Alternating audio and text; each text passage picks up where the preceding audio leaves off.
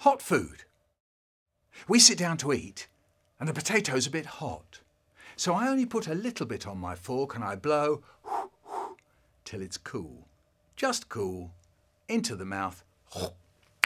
Nice. And there's my brother, he's doing the same. Till it's cool. Just cool. Into the mouth.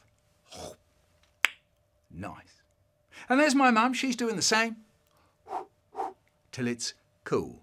Just cool. Into the mouth. Nice. But my dad, my dad, what does he do? He stuffs a great big chunk of potato into his mouth, and that really does it.